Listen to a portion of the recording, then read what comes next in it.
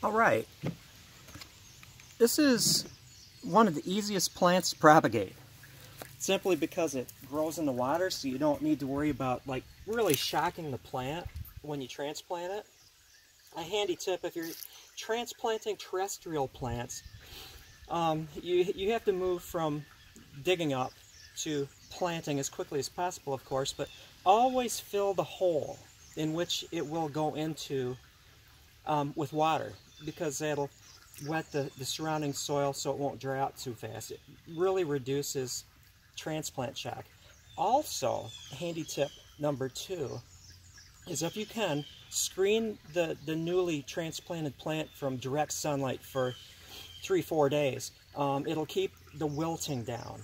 Now onto Acorus calamus or Acorus americana, basically the same plant. The only real difference is in the um, the calamus, the, the flowers are ah, fertile and the americana is infertile, or the other way around. I, I dyslexic moment.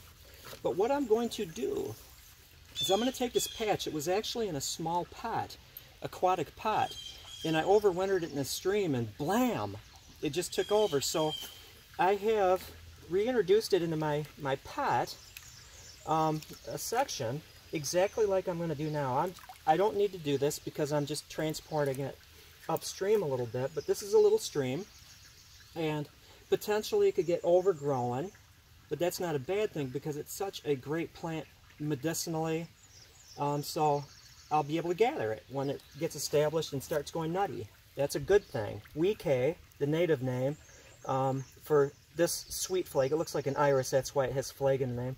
But what I'm doing is I'm feeling around here and I want to see if any of these spurs, they're not really called spurs, have any little roots in them. And I'm just gently letting the water flow. Well, they don't, but that's okay. They have healthy rhizomes. I, I don't know if you can see it, but there's these two big fat runners coming out here that are diving into the ground. They each have several um, leaflets forming. This one has a single, this one has three, one right here and then one right here. So it's simply a matter of, I'm not going to dig around too much because it doesn't matter. That big root will keep it alive while it gets rooted. Simply taking. I'm going to cut up a little bit. There. Look at.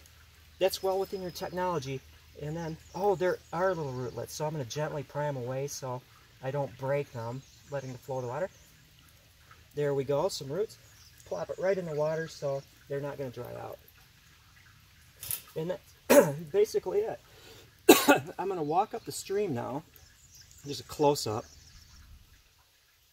I'm simply going to walk up the stream till I find the sunniest spot and estimating where the, the tree canopy will allow it to be sunny so it grows fast. Um, and just dig it into the, the floor of the creek. And so I am going to continually do that, establishing it in this little run, this little creek, and propagate my Acorus, or Acorus calamus, or slash Acorus americana, basically the same thing. One is native to North America, one isn't.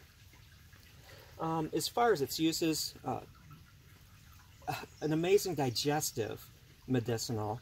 Um, also, the natives in North America would chew on the dried root to cessate hunger and thirst if they were drumming or doing the sun dance all night long. Um, I love it. It has a great bitter taste. Just chew on it. I don't necessarily have digestive problems, but I love the taste of it. It has a beautiful conical yellow flower. What else?